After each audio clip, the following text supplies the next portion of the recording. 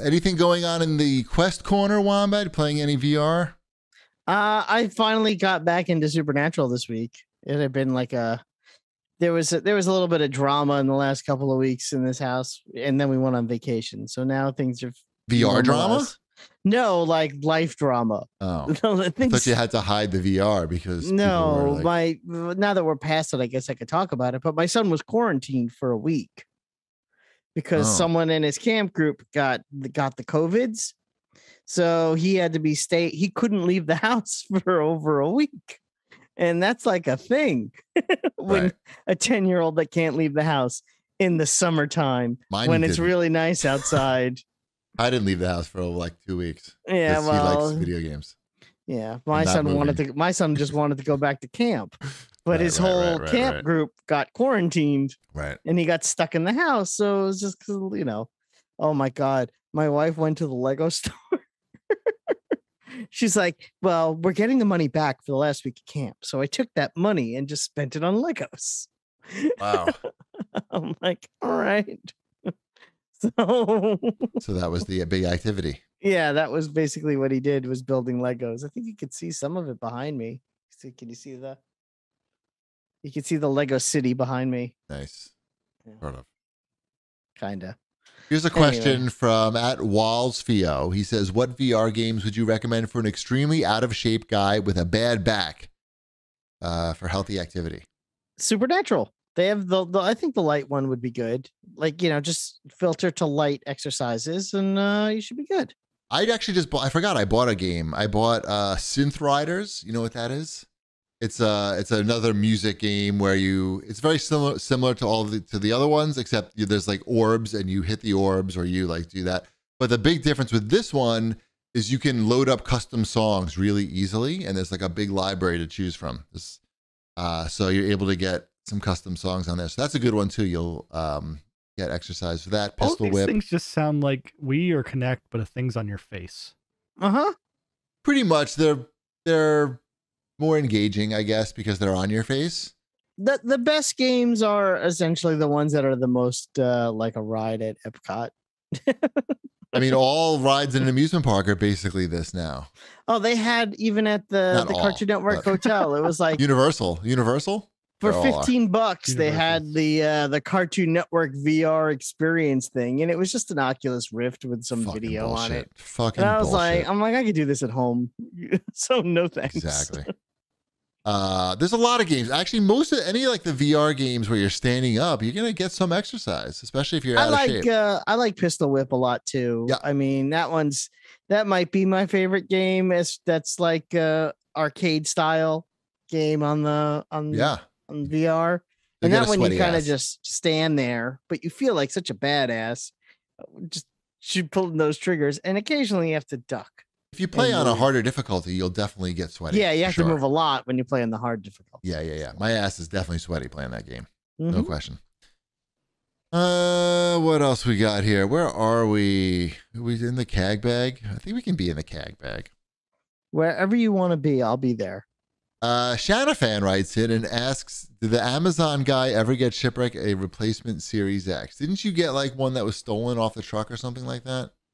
Yeah, they stole they stole one from me. And then I called and they just said, "Oh, nope, we'll cancel it." And I said, "No, I don't. I don't want that. Uh, I want I want an Xbox."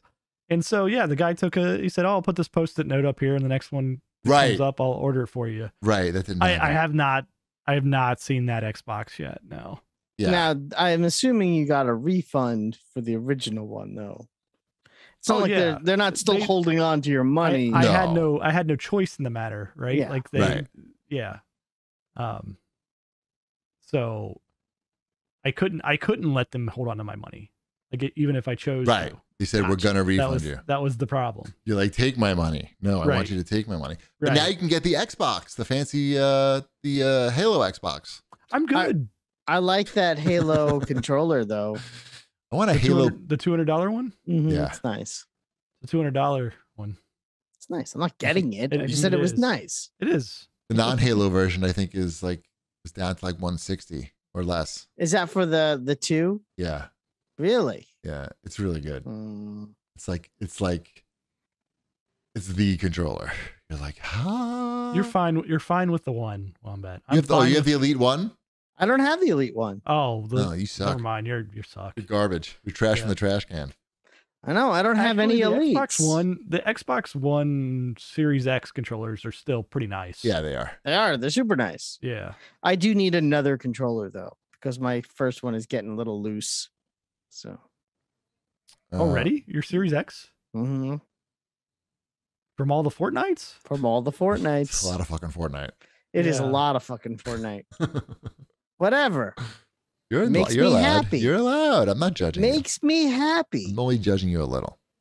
Uh, speaking of judging you, at Super Mario tweet writes in and said it's been a few months since we've had a wombat health update. How's our bud doing? I've been better. I, I would say August was a tough month. I, I need to get back into the swing of things. Although when I got my suit fitted, I was surprised at uh, how well it fit. So Wait, but they suit, but they wait. What, what are you saying? They didn't have to. They didn't like the, it took the it, they they were like they didn't have to like do much for the alterations and things. They were just it's a new suit, mind you. They didn't have to let out the crotch. No, actually they did, but that's neither here nor there. That's from that Swedish penis bump you've been. Uh huh. Yeah. Exactly. It is pretty funny because that was the one thing that I uh, that they had to do when they when I tried on the pants. But the waist was fine, and the and the le- well, obviously the length was going to be an issue. But they only one jacket. Like I thought, I'm like, okay, they're gonna have to find like seven jackets to find something that closes around me. But nope, they're like, here's something. So I don't know. It went better than I thought. Did you shop at Tall and Fat? I did not shop at Melons. oh, see, I knew you were I going. knew you would know. Uh, I knew that you would know. Yeah, their dolls were abandoned. As well, I what, Uh, Their dolls were abandoned. Their dolls were abandoned. I don't remember that. Exactly. See, I, well, I don't remember the what's the reference. back to But school. what's the doll? What do you mean? What was abandoned? I don't They remember. have the Melon Patch Kids. I don't remember that at all. I haven't watched that movie in forever. Wow. Wow. Melon Patch Kids. Melon Patch Kids. They're like Cabbage Patch Kids. Theirs were adopted, but ours were abandoned. I don't remember that. I gotta watch that with Ty. Mhm.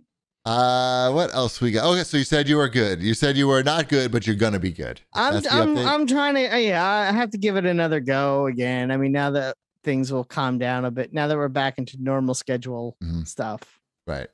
hmm Shipwreck, do you have any more running tips? The, like you gave me one running tip when I, and when I'm on the treadmill at Orange Theory, it's the only thing I think about. And you told me to That's swing my enough, right? you'd swing my hands through my pockets. Yeah. And that's so that's the only thing that I focus on. Is there anything else that I can add to What do you mean swing your hands through? Like put your hands in your pockets and move? through No. like when you're running? Some When people running, run Yeah. like this with their hands up by their chest, and then most people Oh, run like I that. see. Keep your arms down, basically. Relax your shoulders. Yeah. It, it, yeah. It just relaxes your shoulders and, and makes it so your arms are actually doing you good rather than harm. Um, Is there I don't- anything else? Because I'm getting better at the running, and I feel like I can I can add I mean, stuff. the the other thing that you just want to be, I guess, conscious of is when you start to get tired, just make sure your knees are lifting. Like if you just concentrate on on making sure your knees lift high, right. that that'll keep you going. How high do I need to lift them? Because they're very heavy. Um, I mean, it's it's not like you're getting them up to ninety degrees or something, but Okay. uh, like maybe maybe a good eighty degrees. Okay. I'm gonna work on that. The hands one is what I think about before my mind drifts. It's to a it's a good shit. one. It, that that makes you a lot more calm Yeah, yeah. you're running. And I'm uptight it- anyway. I'm always like this Right. with the shoulders. Don't walk like that either. No, I try not to, but I do sometimes. uh, all right. I think we made it to the end of the show.